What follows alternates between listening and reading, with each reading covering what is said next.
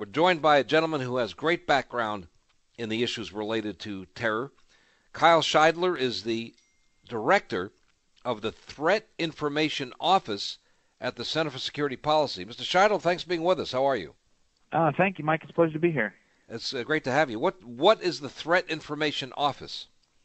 Well, we're an open source research and analysis wing for the Center for Security Policy. So that means we do a lot of uh, tracking uh, suspected uh, Islamic groups, uh, Islamist groups, jihadist groups on social media and on the web.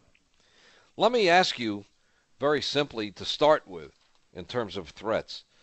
If the Passaic, New Jersey Home Depot had this guy come in, and we've seen his pictures, so he looks, and obviously we're not supposed to judge people by how they look, but he's got an, an Islamic name. He's got uh, his first name actually means um, something about the sword of Allah.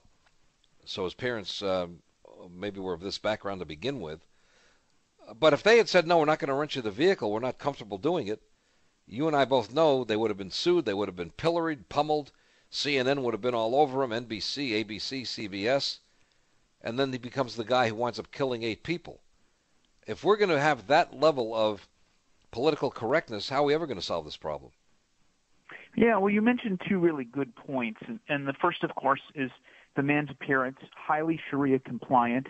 And there was a study done by, uh, on perspectives on terrorism which pointed out that in uh, cases of, for example, mosques uh, that display highly Sharia compliant behavior, you had a very high correlation, almost 80% correlation, with uh, the use of uh, violence-prone texts, uh, violence-prone Islamic doctrine, doctrinal texts. So there is something here. Now, just because an uh, individual chooses to appear in a certain way, does that necessarily mean that they will engage in specific behavior? No, it doesn't. But it's one of a series of indicators that one can begin to look for if one uh, knows what one's looking for. Now, to the Home Depot question, you're exactly right. Uh, the NYPD pointed out, of course, that they had been in contact with uh, Home Depots and U-Haul uh, trucks and, and Ryder trucks and similar companies that sell and rent trucks because of the nature of this vehicular threat up in the uh, days leading up to this attack. But of course, uh, if people do not feel that they have the ability to uh, either deny access or deny a sale in cases where they're concerned or suspicious or they don't feel comfortable uh, reaching out to police because of political correctness or because of this impression that they will be uh, judged or sued or otherwise uh, slandered uh, if they make a judgment that perhaps they're not comfortable selling this man a truck or renting this man a truck or selling this man a firearm or, or what have you. Uh, that's really that's really dangerous. Uh, Americans need to understand that we are we have to rely on our own situational awareness and our own judgment about uh, threats that we face. And if we think there's a problem, we should call law enforcement. If we think there's a problem, we should deny a sale. Uh, if it's something like this where there's a potential threat. You know, the problem though, Kyle, is that um, I had to laugh today when De Blasio, of all people, said, "If you see something, say something." But he'd be the first guy to say you're Islamophobic if you suggest if the Home Depot called him and said, uh, you know, or called the New York police and said this guy just rented a truck and he looks suspicious. Uh, De Blasio would have been all over those people. So they say, uh, if you see something, say something. But then when you do that, then they come down on you. Well, as a matter of fact, the NYPD intelligence unit can no longer see things and say things because of Mayor de Blasio. You know, the NYPD intelligence program was really the envy of the entire country uh, when they ran afoul of certain Islamist organizations and leftist groups like the ACLU who sued them. Now, the NYPD defended their program in court, and they were defending it very successfully, pointing out that they were targeting uh, Islamic groups and um, certain mosques only because uh, of the the evidence that they had, not because of any sort of blanket surveillance. And they were winning in court when De Blasio uh, came in as mayor and essentially forced them to settle that case. So the, the reality is that this individual uh, in this attack is reported to have attended a mosque from New Jersey, Paterson, New Jersey, which was one of the mosques that was part of this NYPD surveillance program. And that surveillance program was killed, and it was killed uh, largely because of folks like Mayor de Blasio. Yeah, and so uh, I go back to my point. Uh, I'll just make it as a statement. This country does not have the will. And I'm not talking about the president now. He's, he's doing many of the right things, and I commend him. But I'm talking about overall, uh, especially New York, which is very vulnerable. Uh, Boston, same thing. The mosque where the Tsarnaev brothers went to, the police had instructions not to go anywhere near the mosques, leave them alone, uh, let people pray as they see fit, all of that. Um, and they got radicalized, in part at least, at that mosque. This fellow may have gotten. Well, I had Clare Lopez on earlier from your organization. She doesn't like talking about people being radicalized because they're b- born with it. I mean, they're indoctrinated with it by their parents. So um, whether whether somebody comes later to uh, Islamic Jihad or whether they uh, are there from the get-go, either way, uh, you've got a situation where you don't have the national will to do what needs to be done here. Well, you know, the, the NYPD deputy commissioner at the press conference today said something. He was like, "This is not about uh, Islam, and it's not about the mosque that this individual attended." Well, in fact, it may very well be about that. We don't know that for a fact yet because we haven't finished the investigation. Right. But the reality is that not all mosques are created equal, and there are some uh, in this country, for example, uh, like the Boston Mosque that you referenced, that were founded by men who are in prison for funding Al Qaeda and who have produced over a dozen people with ties to terrorism. That is a different case than some other uh, organization or some other mosque that may not have that track record.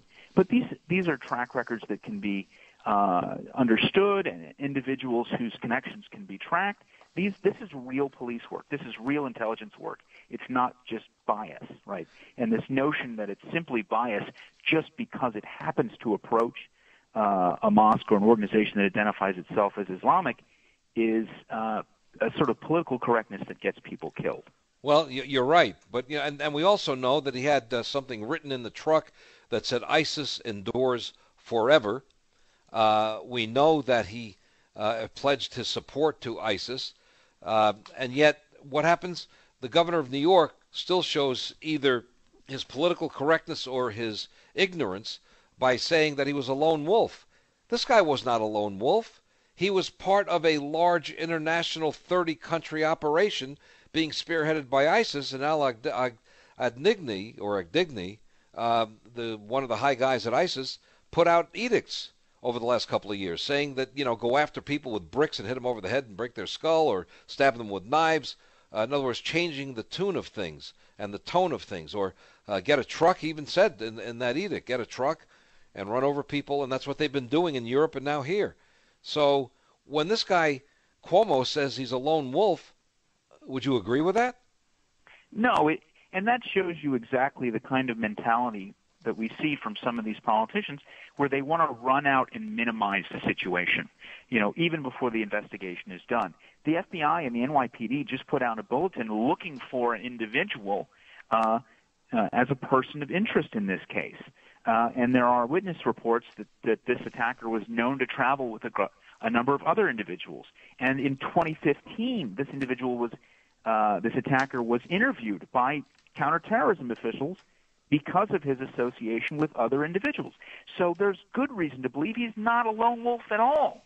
And as you pointed out, of course, that it's how is one a lone wolf if one is a mem is a is a is a organ you know an organization gave a call and an express order to do an attack in a particular way and you followed that order that's not a lone wolf that's command and control someone said do something and you did it yeah and and that, that's but see uh, then Kyle I go back to the same point um, there are people in this country who have the will to do what needs to be done there are other people in positions of power who do not uh, you've got the Democrats, and you have, frankly, some Republicans in the Congress who um, would would let this thing go. Uh, look, uh, it's a different subject, but it's it's the same thing as the left saying, "Well, I guess we have to live with North Korea having nuclear weapons." Well, wait a minute.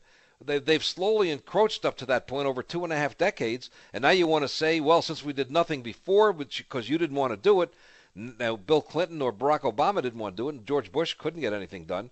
So now uh, we're supposed to just let them have the weapons because we didn't do anything then because you told us not to. Uh, it, it's like you can't do the thing to prevent the problem, and then when the problem happens, uh, we just have to live with it. That's what it sounds like. That is pretty much what they're telling you in, in a lot of cases. That's exactly right. This is, you know, these uh, they don't like uh, the intelligence. They don't like the surveillance efforts. Uh, they are very opposed to, for example, uh, the sort of sting operations where the FBI is able to take some of these individuals that they suspect uh, of terrorist affiliation and, and, and give them an opportunity and then arrest them before they can hurt anyone. Uh, they oppose all of these counterterrorism methods. And yet, when uh, an attack occurs, they say, well, what could be done? He was a lone wolf. Nobody had any idea.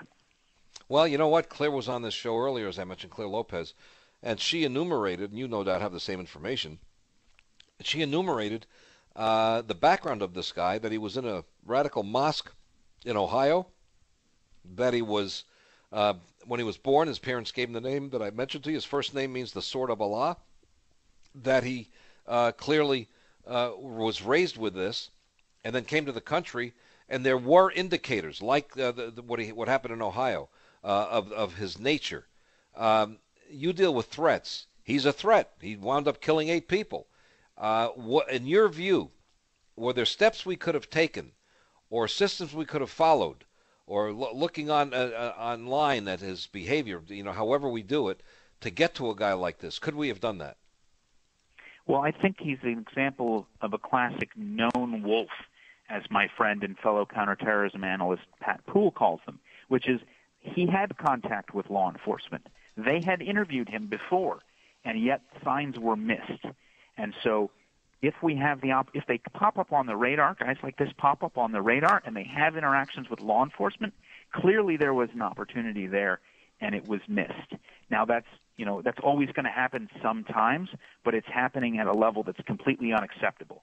And that tells me that we have a problem with our either our training or our law enforcement tactics and procedures because if you're if you're getting an opportunity to meet these guys, interview these guys and figure out what they're all about and you're not catching them, that's a problem.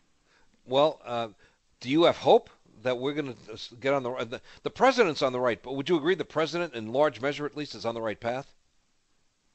I think the president came into office on the right track. He on the campaign trail, he, he clearly seemed to understand that this was an issue. Uh, it was an important issue, and it resonated with voters. Uh, and voters concerned about this issue largely flocked to President Trump. Since he's been in office, we've seen uh, not as much movement on this as we would have liked. Uh, the travel ban, as it's being described, uh, was kind of a step back from some of his rhetoric uh, before. We haven't seen a designation on the, on the Muslim Brotherhood that we might uh, prefer to see, and if which we had, we would be able to do a lot more targeting these sort of indoctrination and recruiting and terrorism finance uh, guys and try to cut down on on this number of of, uh, of attackers. Right Kyle, now, FBI you, is looking at a thousand ISIS cases. Yeah, uh, uh, uh, they are, and Comey even admitted that. We'll come right back and we'll wrap it up. I appreciate you taking the time. Kyle Shideler is here. He deals with terror uh, threats, the Terror Information Desk at the Center for Security Policy.